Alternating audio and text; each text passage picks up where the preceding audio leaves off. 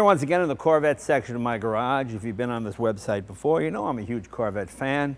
In fact, we probably have more Corvette accessories on this website than any other vehicle. It's probably the most accessorized vehicle other than Harley Davidson you can buy.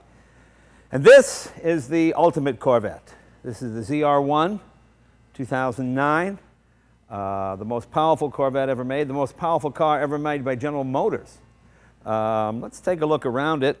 I really like this color. This is a new color for uh, 2009. Car weighs about 3,350 pounds. The shape is similar to the uh, standard Corvette, although there's a lot of little subtle things you can't see.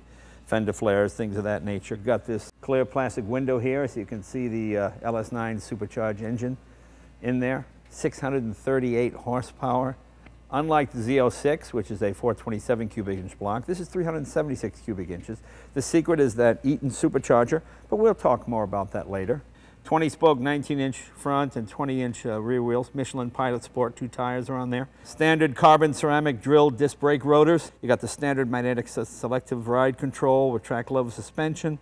Got the wider carbon fiber front fenders with ZR1 specific dual vents on there. You know, there's a story going around that there's this clear coat over this carbon fiber is $60,000 a gallon. And I thought, well, that can't be right. And then I checked it out, and yeah, it is true. It's some special high-tech thing to keep the sun from uh, cracking or bleaching out the carbon fiber. So $60,000 a gallon. You don't want to be going in trying to get a little bottle of touch-up because it's not going to happen. As you see, the interior is a bit upgraded over your standard Corvette. And you've got controls on your steering wheel here, you know, for volume and things like that. You've got an adjustment there for your suspension, for touring or sport. You see, the more expensive the car, the nicer the bong. You ever notice with a cheaper car, you open it, makes that, but when you're in the scale of car, Cadillac, bong, oh, it's like angels hitting a little gong. Bong, oh, my key's in it. Uh, let's open up the hood. Let's show you what we got in here. As I said, it's all new LS9 supercharged 6.2 liter V8, producing at minimum 100 horsepower per liter, 604 foot-pounds of torque. Top speed is 205 to 210. If you took the limiter off there, you could probably go 215. Uh, that's a sixth generation uh, supercharger developed by Eaton. Pretty bulletproof engine. There's no oil leaks, there's no mist anywhere on the engine. It's got a brand new uh, six-speed manual transmission, twin disc clutch. I really love the fact that they put a lot of time and effort in developing a proper six-speed transmission. The top speed is achieved in sixth gear, not fifth gear. You know, in most six-speed transmissions, the sixth gear is an overdrive gear. In this, it's a top speed gear. This is your heads-up display right here that flashes RPM, speed, water temperature, flashes it on your windshield so you can literally see through it, which is kind of a cool safety feature. Corvette's the only car I know that has that, and it's, and it's not a gimmick, it's really beneficial. The coolest thing about the ZR1? Ha! The pièce de résistance. right here. Can you read that serial number? The very first ZR1. Come on, let's take it for a ride.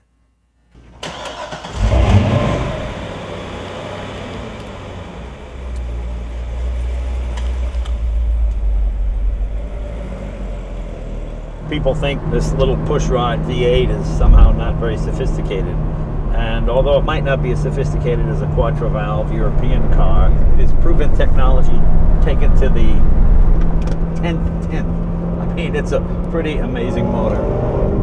Tremendous amount of torque, over 600 foot-pounds of torque, which is a huge, huge amount. That's uh, probably 100 or 150 foot-pounds more than the Lamborghini or the Ferrari. Because we Americans, we like that low-end grunt, and that's what this has. And then, of course, once that supercharger pulls up, it pulls like a train. This Corvette is also the most powerful sports car built in America. The Viper uh, had the title for a while with their 600 horsepower V10. This is now 638. That's a pretty substantial jump. And it's a lighter car. I think a better handling automobile. I like Vipers, but this Corvette's got the edge. As I mentioned earlier, you've got the carbon fiber brakes. Uh, the same brakes that are on the Enzo Ferrari. Not similar, not kind of like, the same brakes. Like all contemporary Corvettes, you have three uh, selections here. Your regular, uh, just normal driving. You have your traction system off and competition mode. I always drive in competition mode. I, that's what I like. It just seems best to me. these magnetic shocks, fantastic. You know, GM pioneered those I think even Ferrari and some other companies use them as well. They won't give GM credit, but that's where it came from. And it really makes the car ride very nicely. I mean, when you're in the touring mode, not in the competition setting, it really does ride like a Cadillac. Whatever you used to think about Corvettes, forget about with this car.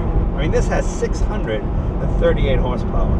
The McLaren F1 has 627. The SLR Mercedes has, what, 617. The Aston Martin only has 510. This is the performance bargain of the decade. This car will easily run with the 430 Ferrari, the uh, Carrera GT. In fact, if I'm not mistaken, at least at the time of we're doing this uh, video, this car on stock tires holds the record at Nürburgring. What is it, 7 minutes, 26 seconds, something like that? Pretty amazing. I love these things. I love the fact that they're built in America. I love the fact they're built in Bowling Green, Kentucky. I like the fact you can call up a guy on the line and talk to the guy who built your car. That's pretty cool. They couldn't be prouder to build them. I mean, it's a real dedicated workforce down there. They love these cars, and it shows in the workmanship. Now, if you've never been to the Corvette factory in Bowling Green, Kentucky, you got to go. It's a real treat. Uh, we had John Fitch here recently at my garage. He was one of the guys who started the Corvette race team uh, with uh, Briggs Cunningham, uh, won at Sebring, did all the races in the early 50s and 60s. There's a lot of Corvette heritage, and it's all down there at the museum.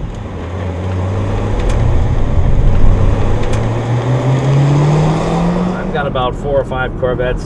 I've never had any problems with them at all. Bulletproof cars. And if you do have a problem, like I say, it's a Chevy. You fix it with a hammer. You go down to a Chevy dealer, and you know you got an exotic supercar at uh, Chevy Cobalt prices, really, in terms of repairs. Uh, I don't have to tell you what it costs to fix a Ferrari or a Lamborghini. You know, whenever I think we've reached the pinnacle of high performance in street cars, a few years goes by and then it goes higher and higher. And I think with the upcoming emission standards and you know a lot of the environmental stuff that's happening, this is probably the most powerful Corvette you'll see for a long, long time. And I'd be surprised if anybody breaks uh, this Corvette's numbers anytime soon. It's the greatest Corvette in history. And I think it's, well, it is the most powerful car General Motors has ever produced in their whole 100 years. Like uh, the Z06 Corvette, this has the uh, trick muffler system with the solenoid that opens up over three grand and uh, makes it a bit more, some people might say louder, I say melodious.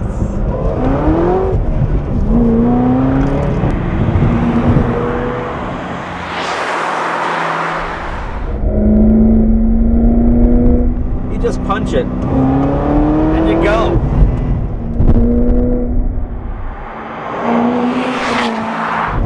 It's a lot of power. You this is the greatest American car in the history of our country. This is what the founding fathers wanted us to be driving. This is what they did that whole Constitution thing for. One of these. All right, maybe I exaggerate a little. You get the idea. No matter what you could do to this car to get more power out of it, but since it's serial number 0001, I'm going to keep it just the way it is. Well, that's about it for this week. I'm going to drive on down to Bowling Green, Kentucky, and thank the men and women who built my car personally. See you later.